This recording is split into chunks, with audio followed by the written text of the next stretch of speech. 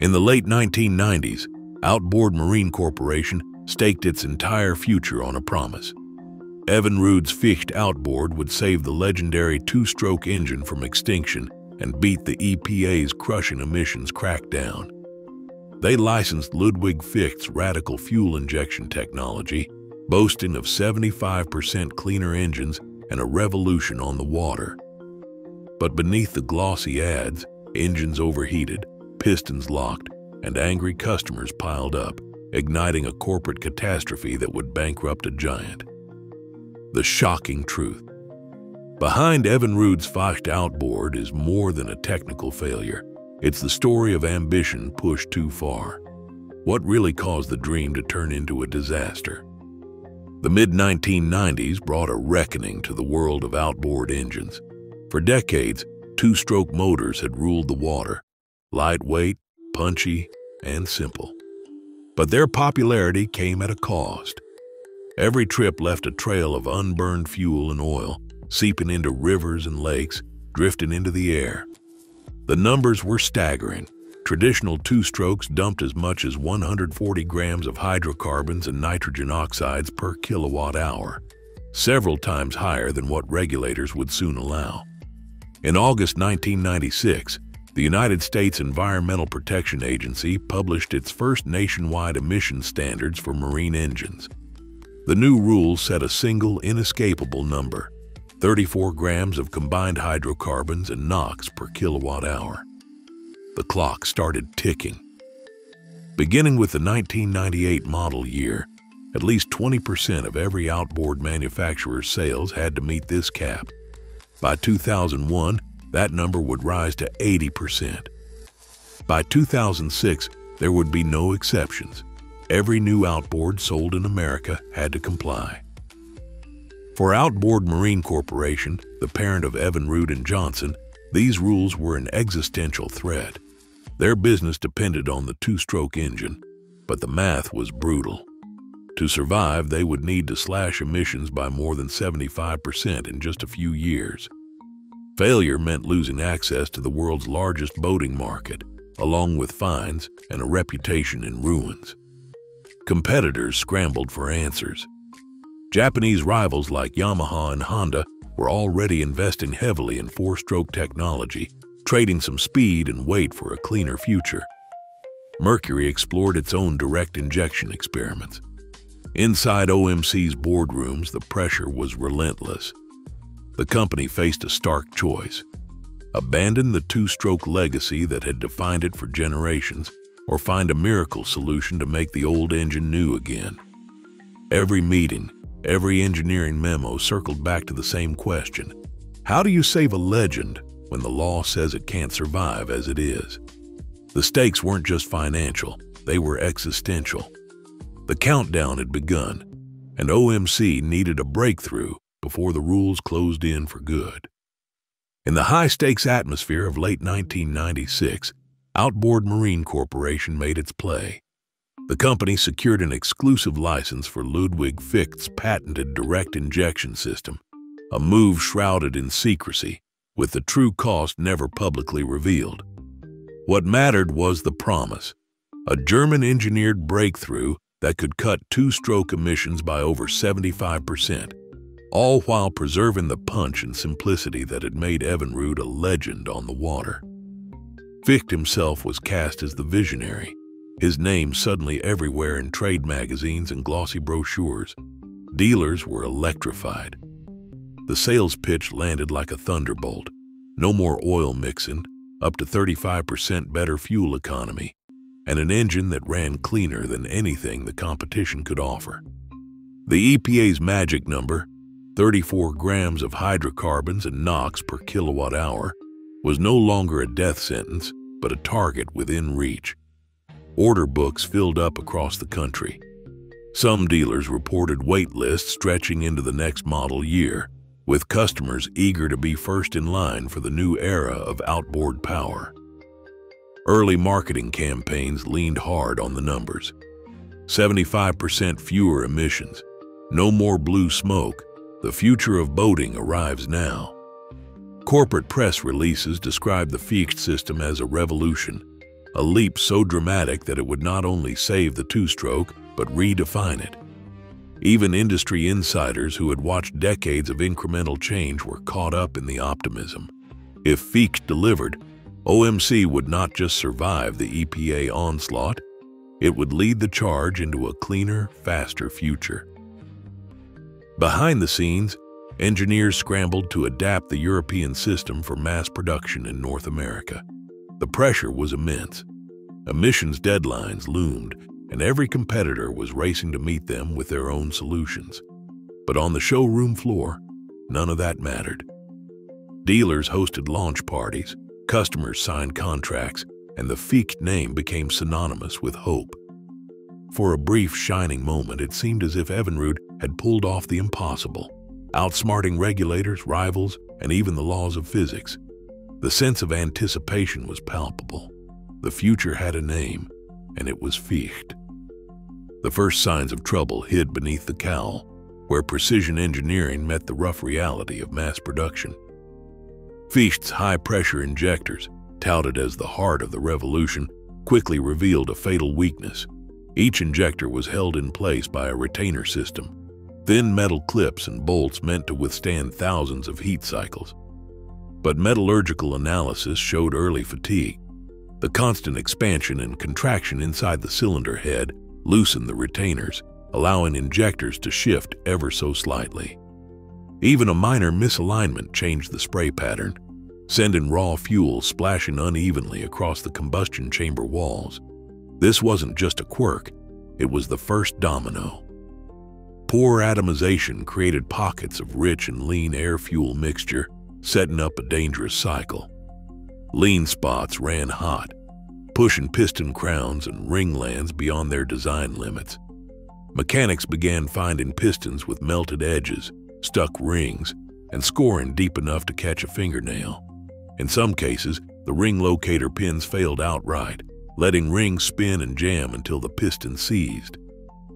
Teardowns uncovered blue-tinted bearings and heat-warped rods, evidence of localized overheating and oil breakdown. Service bulletins revised torque specs and called for new injector styles, but the cascade had already started. Each mechanical failure sent debris through the engine, scarring liners and bearings, multiplying the damage. What began as a small hardware flaw spread through the powerhead like a contagion, leaving a trail of ruined engines and unanswered questions.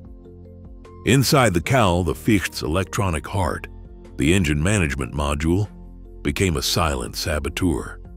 Designed to orchestrate every spark and squirt of fuel, the EMM was packed tight against the powerhead, absorbing heat with nowhere to go. During long runs, temperatures inside the module soared past safe limits, warping circuit boards and stressing delicate solder joints. Field reports began to stack up, describing engines that cut out without warning, refused to restart, or went dead after a short idle.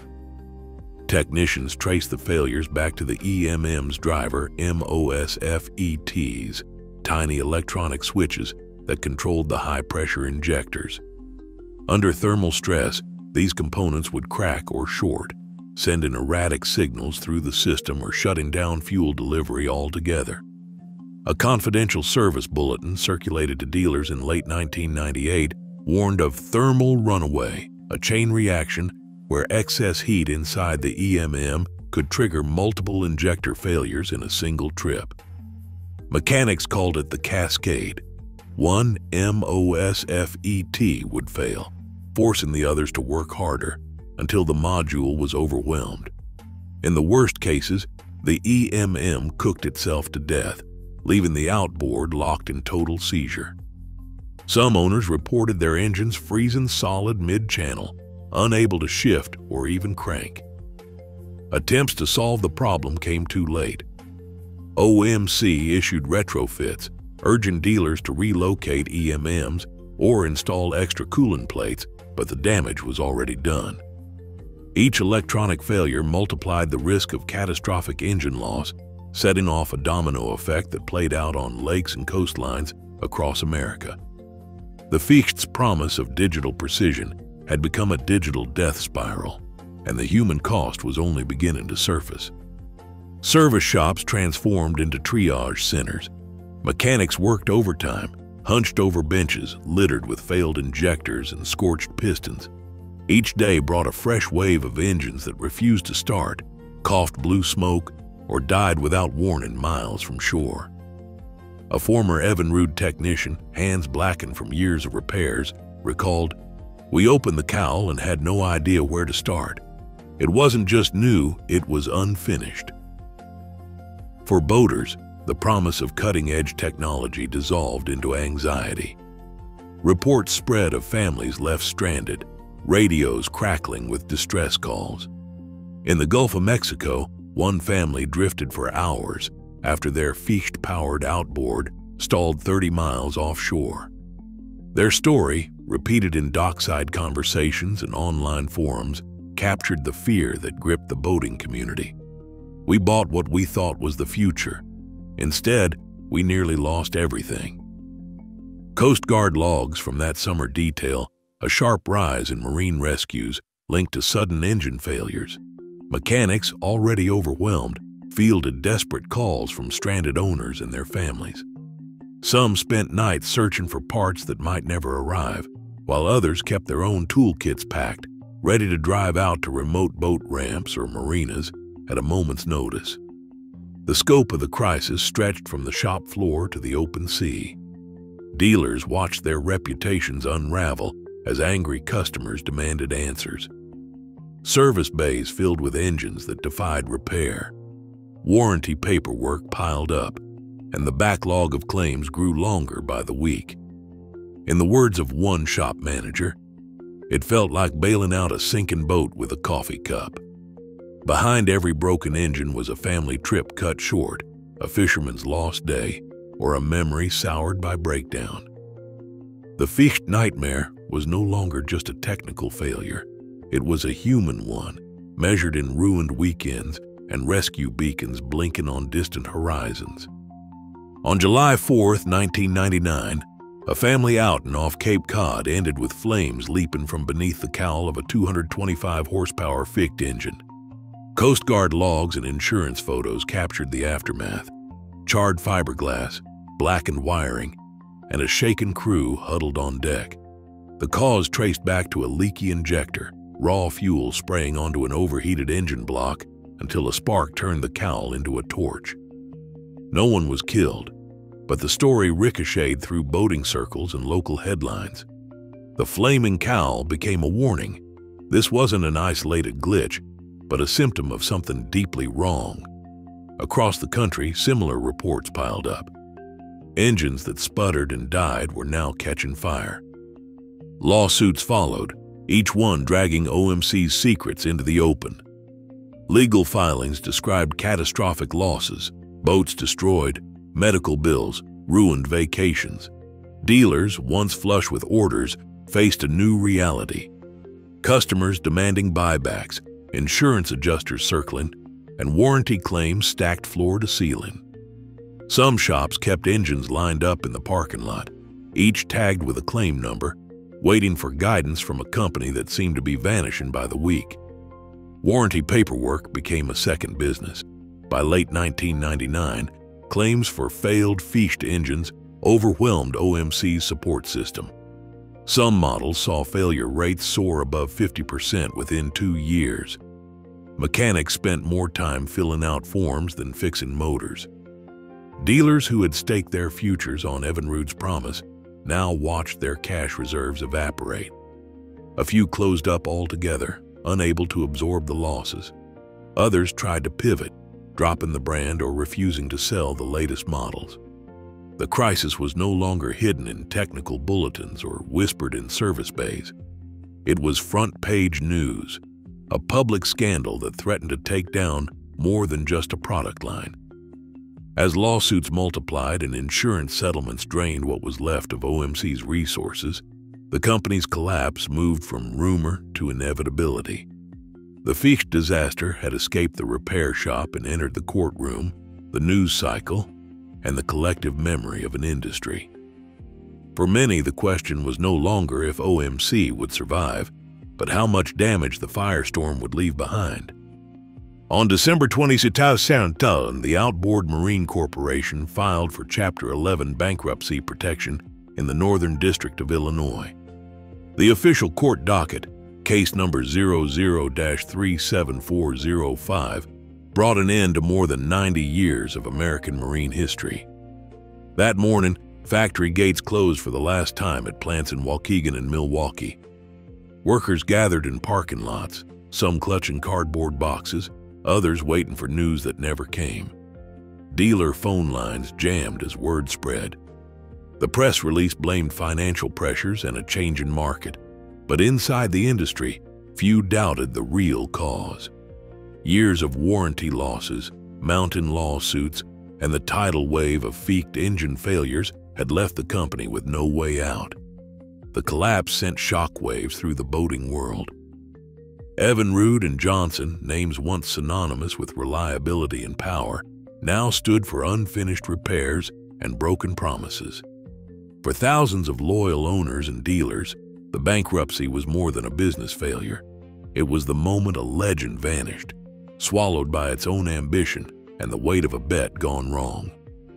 When Bombardier Recreational Products acquired Evinrude's remains in 2001, the Ficht name was Radioactive, but buried beneath the wreckage, BRP engineers saw something worth salvaging. They stripped the failed system to its bones, redesigning fuel injectors, overhauling coolant circuits, and rewriting the software that once sent engines into meltdown. The approach was methodical, no shortcuts, no rushed launches. Every component faced new testing, every flaw was mapped and corrected. In 2003, Evinrude E-TEC debuted quietly at first, with a promise of reliability that the Ficht could never keep. Industry watchers noted the difference. One observer put it simply, they learned the hard way, but they learned. E-TEC engines would go on to win awards for innovation and clean performance, but the legacy of Ficht remained a cautionary tale. Was it a necessary failure on the road to progress? or a warning about what happens when ambition outpaces caution. That debate still echoes in marinas and machine shops wherever outboard history is told. By December 22, 2000, Outboard Marine Corporation had filed for Chapter 11 bankruptcy, an end triggered in part by thousands of warranty claims and a cascade of lawsuits over the Ficht Outboard's failures. The documentary has shown how urgent EPA emissions mandates drove OMC to license Ludwig Ficht's technology, promising a 75% cut in emissions. But rapid commercialization exposed fatal flaws, injector mounting failures, EMM overheating, and repeated field incidents documented in service bulletins and Coast Guard logs. While BRP later redesigned the system and launched E-TEC in 2003, the full story of internal decision-making and the exact number of affected customers remain sealed in court records and undisclosed files. What is undeniable is the lasting industry lesson. Innovation under pressure can spark either a breakthrough or a breakdown. The Ficht saga stands as a cautionary chapter in marine engineering, one shaped by bold ambition, technical oversight, and consequences that still echo today.